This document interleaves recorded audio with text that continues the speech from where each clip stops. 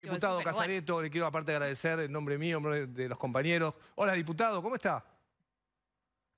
¿Qué tal? Un gusto saludarlos a ustedes aquí desde Paraná, Entre Ríos. Bueno, ¿nos puede contar esta idea que tiene de aumentarnos el salario? O sea, ¿usted va a decidir con el Congreso o le va a pedir al presidente que aumente el salario privado?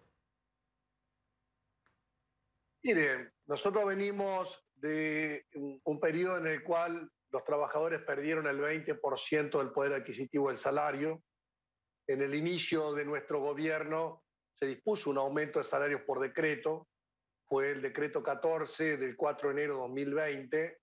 Luego los eh, salarios cayeron en el marco de la pandemia y hoy están recuperándose. Tenemos que controlar la inflación, la inflación está cayendo, tenemos que aumentar los salarios, los salarios están aumentando, pero da la sensación de que los salarios están aumentando atrás de la inflación y lo están haciendo en cuotas. Por eso ustedes verán que estamos en septiembre y hay paritarias acordadas entre trabajadores y empresarios con un calendario de aumentos, algunos de los cuales impactan en octubre, en noviembre, en diciembre y demás. Pero lo que yo estoy planteando es, eh, lo que, digo ya acordaron trabajadores con empresarios que se adelante el calendario mm. para que en definitiva los trabajadores puedan ver mejorado su poder adquisitivo mm. por encima de la inflación después de tantos años de caída. Pero diputado, si usted aumenta, digo, si obliga a los empresarios a aumentar los salarios, los empresarios aumentan también sus costos, entonces aumentan también los productos, entonces también aumenta la inflación y otra vez los salarios vuelven a quedar por debajo de la inflación. Y entonces es la historia de la Argentina de los últimos 20 años, si quiere. Bueno, no ha sido siempre así, porque en 2019, en el gobierno anterior, la inflación fue del 54% y no aumentaron los salarios en esa proporción. El año pasado, en pandemia, la inflación fue del 36% y tampoco aumentaron los salarios en esa proporción. Y este año estaba proyectada una inflación del 29% y ya en este mes de agosto se ha superado la pauta completa anual. Entonces hay sectores de empresas que están aumentando sus precios al ritmo de la inflación y están aumentando los salarios en cuotas. Están difiriendo los aumentos a los trabajadores. Entonces, aún miren ustedes por sectores, por rama de actividad, el salario mínimo vital y móvil está en un valor muy bajo mm. de 29 mil pesos. Ahora se propone actualizarlo. Pero no obstante eso, hay trabajadores en ciertos convenios que tienen salarios iniciales de 80, 90 o 100 mil pesos por mes, porque hay sectores de trabajadores que tienen más poder de negociación. Entonces, lo que gana un petrolero, lo que gana un camionero, lo que gana un bancario, no es lo mismo que ganan otros trabajadores. Un docente, por ejemplo. Por ahí que tienen menos poder de negociación. Entonces, yo lo que digo es, tenemos que adelantar mm. los aumentos pactados para los próximos meses para que los trabajadores vean una mejora en el poder adquisitivo. Y para ganar las elecciones. Y para ganar las elecciones también, porque en realidad el objetivo es ese, ganar las elecciones de noviembre. O sea, lo, Yo creo que nosotros en octubre del 2019 propusimos mejorar la situación de los trabajadores.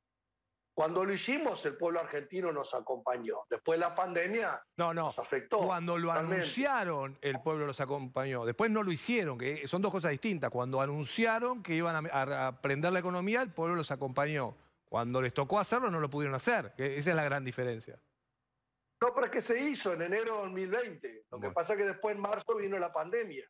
Eh, Entonces, de la misma manera se hizo en la salida del 2001, ustedes recuerden. Sí. Eh, eh, diputado, espere que Maru quiere hacer una pregunta, diputado. Dieron aumentos por, por decreto. No, yo la verdad que eh, estaría feliz si me aumentaran por decreto el, salario. No me voy a oponer a un aumento eh, del salario. Lo que me pregunto es, ¿usted se entendería este proyecto de resolución si fuera, usted un diputado de la oposición? Usted es un diputado del oficialismo. ¿No le ha presentado o no ha tenido oportunidad de hablar con su jefe de bloque eh, o con alguien en la Casa Rosada para que esto se haga efectivo directamente? Y si fue así, ¿qué respuesta obtuvo? Miren, yo soy parte del oficialismo he elegido hace dos años como diputado de la Nación, así que naturalmente que yo el proyecto lo presenté hoy, pero antes se lo había mandado al propio presidente de la Nación, que es el que en definitiva tiene que tomar la decisión. ¿Y qué le dijo? Lo que estamos planteando es aumentar los salarios por decreto adelantando el calendario No, entendí, entre los sindicatos con los empresarios. entendí el objeto del, del proyecto. Lo que le preguntaba es qué eh, respuesta obtuvo, digo, tanto de su jefe de bloque, Máximo Kirchner, como del presidente de la Nación, Alberto Fernández, ante esta iniciativa. El presidente de la Nación lo estará analizando, para eso es presidente de la Nación. Pero yo soy diputado de la Nación Argentina. ¿Y Máximo No Kirchner? soy empleado de nadie ni tengo jefe de ninguna naturaleza. Lo que hago yo es, Máximo a Kirchner no es- partir de 54, 54 años de edad y 30 y pico de años de política, interpretar lo que el pueblo argentino quiere. Casareto, buenas tardes. Eh, acá Sofía Terrile. A ver, eh, se lo plantea cualquier economista y le diría que esto es un contrasentido. ¿Por qué? Porque estamos aumentando los salarios por decreto sin mejorar la productividad. Entonces yo le quería preguntar, digamos, ¿no es un parche, una curita? Un poco Franco se lo cuestionaba también con el tema de aumentar los, salarios, pero también te aumenta la inflación. Digo, ¿cuán sustentable es subir salarios por decreto sin mejorar la productividad? Lo que estamos planteando, reitero, es un decreto que disponga adelantar el calendario de aumentos pactados por los empresarios. Los empresarios ya han aumentado sus precios en los años anteriores sin aumentar los salarios. ¿Y cómo hace la pyme? ¿Cómo hace el comerciante? ¿Cómo hace el comerciante, la pyme que, que está llegando con lo justo? ¿O, o- o que digamos, también aumenta el salario porque lo deciden ustedes? No, porque lo pactaron los propios empresarios en las paritarias.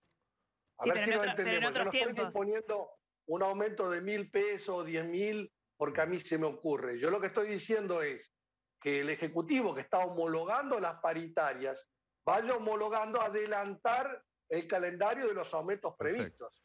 Bueno, quedó claro. Producto de esta situación. Quedó claro. Entonces son todos aumentos que los eh, representantes de los empresarios han dicho que pueden pagar.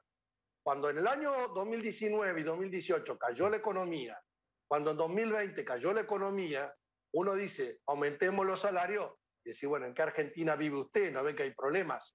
Mm. Pero en este momento en la Argentina estaba previsto un crecimiento del 5%, ahora va a 6, 7, 8% de aumento. Y entonces, ¿qué van a decir esos mismos empresarios? No, mire, ahora vamos a aumentar los precios y de acá en adelante veremos cómo hacemos un calendario para aumentarles a ustedes. Bien, Yo lo que diputado, digo no, que tenemos más tiempo. que Lo, que le digo que es con, est- con estos proyectos también puede pasar que eh, muchos empresarios no tomen empleados, que hoy es un problema la desocupación, justamente porque ustedes les, les terminan decidiendo cuáles son los salarios que tienen que pagar. Pero lo dejamos para después. Diputado, quedó claro su presentación del proyecto. Hay que ver qué dice el, el presidente respecto a esta, esta idea de- del Frente de Todos. Eh, gracias. Yo lo que digo Sí.